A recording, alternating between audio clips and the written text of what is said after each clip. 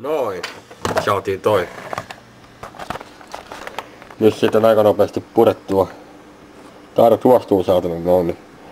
Nyt vaan pesukäsittely tonne noin ja takaisin ja... Niin kun toki olisi saanut saatana siipeensä, kun vähän näyttäisi olevan lommassa.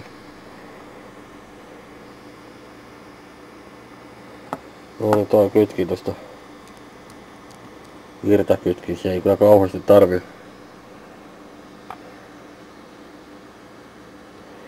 Jees. Vittu kun ei oo ipaa, mutta täytyy ottaa tämmöstä oma teke, tekemistä. Täällä on kahta eri ainetta mulla nyt sitten. Toivottavasti ei jää mitään haitta-aineita tonne sitten yhdistäneen. Sitten ei homma toimi. Jees. Noin laitettiin vaikuttava aine sinne sitten.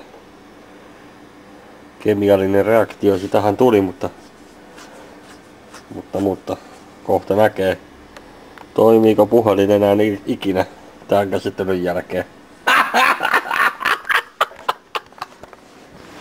Päästiin jo aika pitkälle.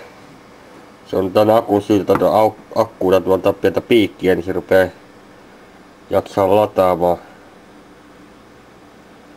Lataamaan sitten juuri. Kohta rupeaa känny toimii. Eipä kestä kauaa. No niin. Ei tarvinnut kantaa virtapiikkiä. Näin tänään täällä. Mitä koville otti. Joutuu vähän kuivaille ja antaa vähän kosaa niin hengitystä. Oi voi voi. Vähän tämmösiä. Pitäis käyttää koko ajan, niin ei, ei riityis niinku saatana erään koronakin tuolla saatana.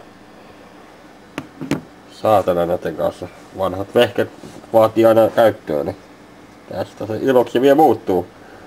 Ei muuta kuin käyttö täytyy vielä puhdistaa uudestaan kolmannen kerran. Jees. Mitähän sitä sitten tekis? Katsois, katsoisiko tuollaista yhtään mitään muuta säädettävää. Kyllä tuolla olisi, tuolla olisi yksi tietokonekin pitäisi, pitäisi korjata. Ei valehtunut. Jees. Täys. Sitten. Ei tässä nyt sitten muita kännyköitä sitten ollutkaan. Vähän koville otti, mutta siinä semmoista latailee IT-akulla ja en mä sitä kuitenkaan hävittänyt totakaan vielä jostain kumman syystä. Joo, täälläkin on pari uksia. Tää toinen on akkuvamma. Siitä on jo video olemassa. Tossa on tommonenkin.